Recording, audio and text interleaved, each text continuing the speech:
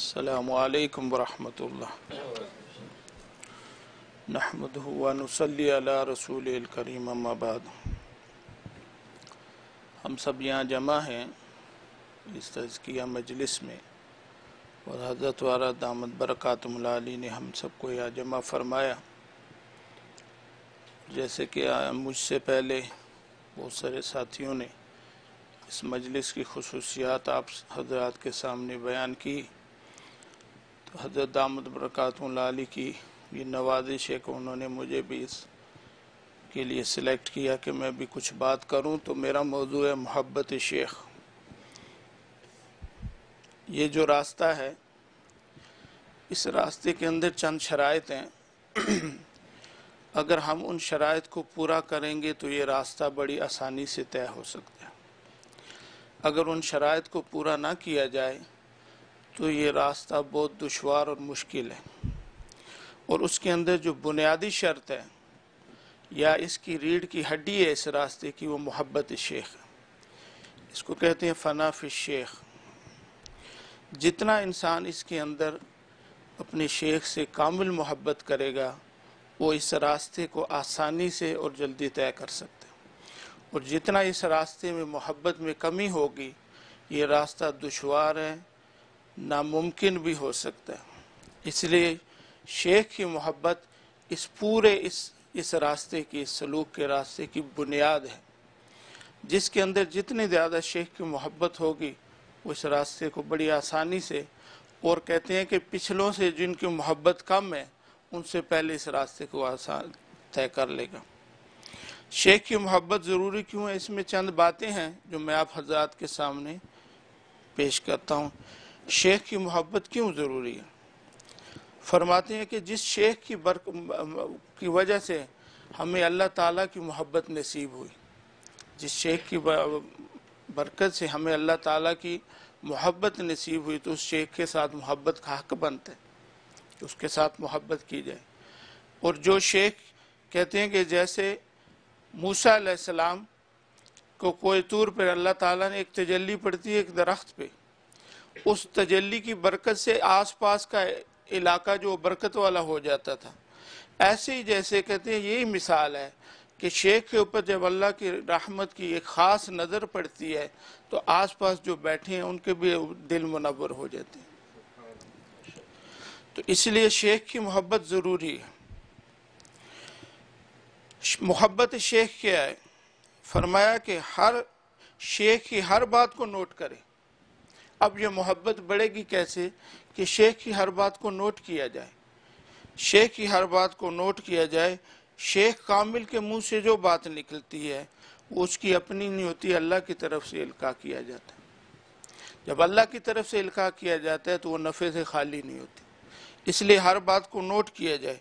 गुमान ये रखना चाहिए कि जो बात निकल रही है, उसको शेख के, वो अल्लाह के फजल से है और अल्लाह ताला अपने बंदों पे जब ऐसी बातें लिखा करते हैं तो फिर अल्लाह ताला उनको पूरा करते हैं। अब शेख की मोहब्बत अजीब नेमत है।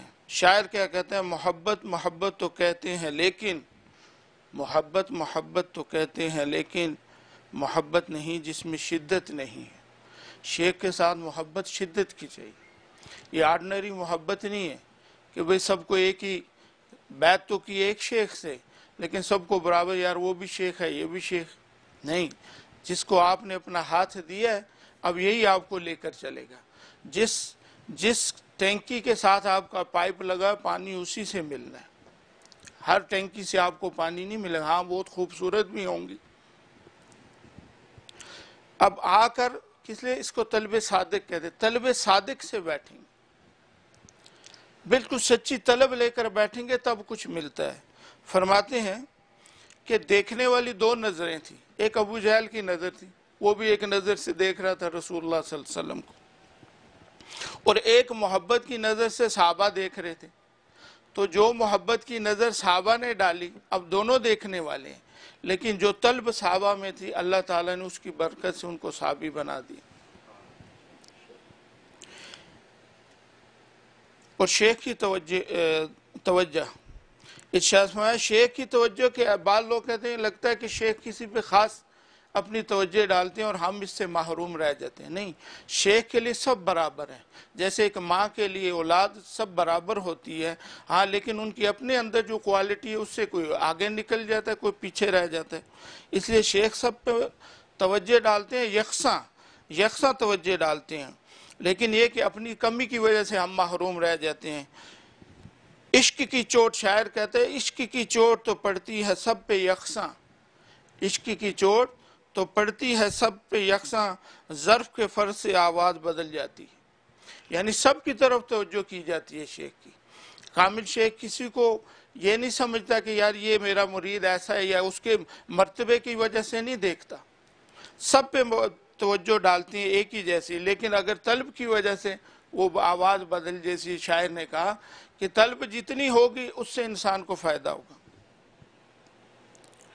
आगे फरमाया तलब हक। तलब हक है कि मोहब्बत और अदब, तलब, आया इंसान मोहब्बत के साथ, अदब के साथ और तलब के साथ। तलब के साथ बैठे, जितनी तलब के साथ बैठेगा, जैसे मन तलब फ़कद वजदा, जिसने तलब की, उसने पा लिया। इसलिए तलब के साथ और बिल्कुल, जो है वो तलब के साथ यहाँ बैठें और मोहब्बत के साथ। तो इन इसमें जो है, ये रास्ता आसान है, अल्लाह ताला फिर वो अता कर देते हैं जिसकी, जिसके लिए हम आए। इसके एक वाक़ है, तलब, सच्ची तलब का वाक़ अमीर खुसरो रहमत जब शेख हज़रत नदामुद्दीन अलिया रहमत से बैत होने के लिए आए तो घर के दरवाजे पर आकर एक पेपर के अंदर, एक कागज़ के ऊपर दो अशार लिख कर भेजे। देखिए अदब कितना है शेख का। अभी शेख से बैत नहीं हुए, लेकिन अदब सिखा रहे हैं। अदब देखे कितने आकर एक दो शे अशार लिखे। हज़रत को बाहर से कागज़ पे लिखकर अशार भेजे। आ, लिखा है वो फारसी में आप बादशाह हैं। आप बादशाह हैं कि आपके महल पर कबूतर आकर बैठे तो बाज बन जाता है। आप बादशाह हैं आपके महल पर कबूतर आकर बैठे तो बात बन जाता है। एक गरीब मोहताज आपके दर पे आया है वो अंदर आ जाए या वहीं से लौट जाए ये इजाज़त मांगी। अंदर से हज़रत ख्वाजा निज़ामुद्दीन अलिया रहमत ने एक कागज़ के ऊपर दो फिक्रे लिख कर भेजे। एक कागज़ के ऊपर दो फिक्रे लिख कर भेजे। कहते उन्होंने जवाब हज़रत ने क्या दिया? मर्द हकीकत, यानी मर्द हकीकत मर्द हकीकत को चाहिए कि अंदर आ जाए, ताकि थोड़ी देर के लिए मेरा हमराज बन जाए। मर्द हकीकत को चाहिए कि अंदर आ जाए ताकि थोड़ी देर के लिए मेरा हमराज बन जाए। अगर ये आदमी बेवकूफ़ और नादान है तो जिस रास्ते से आया, उसी रास्ते से वापस चला जाए। यानी अकल की ज़रूरत है। जब यहाँ आए तो वो अकल इस्तेमाल ना करें कि शेख के लिए वही उसके लिए कोई कमज़ोरियाँ देखने वाली। वो अकल इस्तेमाल करें कि जिससे मोहब्बत बढ़े। एक वाक़ बयान करता हूँ। इसी मोहब्बत का वाक़ एक एक दफ़ा फरमाते हैं कि एक दफ़ा हज़रत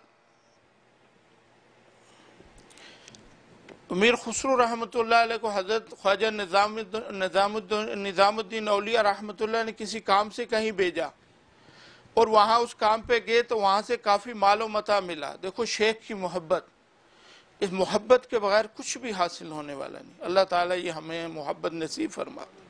और सच्ची और हकीकी मोहब्बत नसीब फरमा दे इसके बगैर ये रास्ता नामुमकिन है, बल्कि अगर इसकी कदर ना करें तो इंसान के लिए नुकसानदेह होता है।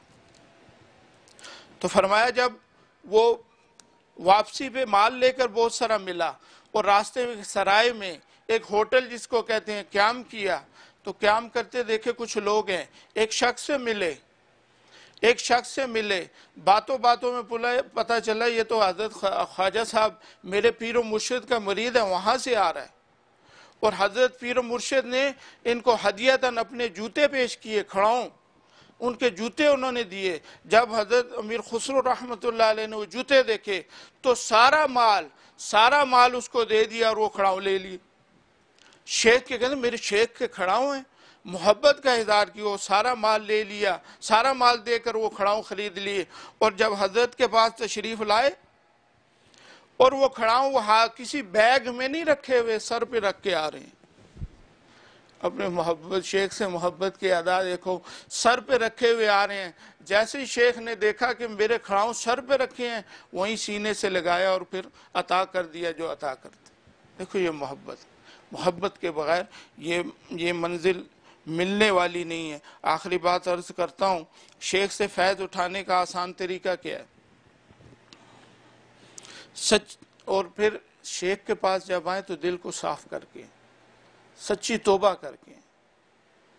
फरमाते हैं कि जब आप इस मजलिस में आ रहे हैं, उस जगह पे आ रहे हैं जहाँ से अल्लाह मिलेगा।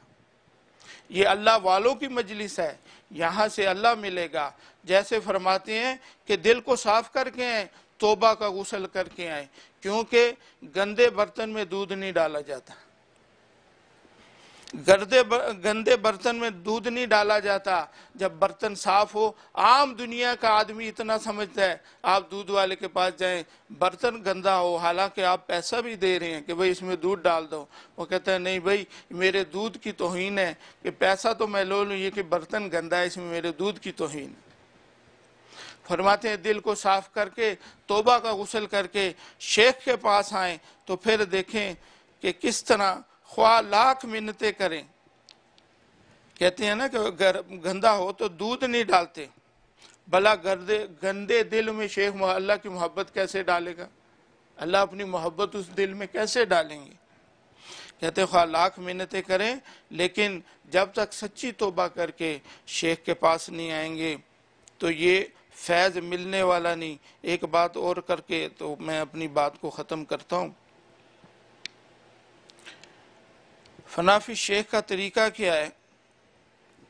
फनाफी शेख का तरीका ये है कि देखे अपने शेख को कि मेरा शेख बोलता कैसे? मेरा शेख उठता कैसे? बैठता कैसे? उसकी हर अदा को देखे।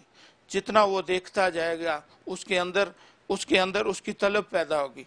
शेख को हर अदा उसकी देखे, वो कैसे बोलता है, कैसे उठता है, कैसे बैठता है? क्योंकि शेख इतबा सुन्नत मुतब सुन्नत होता है। उसका हर अमल सुन्नत के मुताबिक होगा। जब हम उसकी इतबा करेंगे तो अल्लाह ताला हमें भी वैसे, जो है, सुन्नत पे अमल करने की तोफ़ी अता फरमा देंगे। तो अल्लाह ताला हमें शेख की कामुल मोहब्बत नसीब फरमा दे।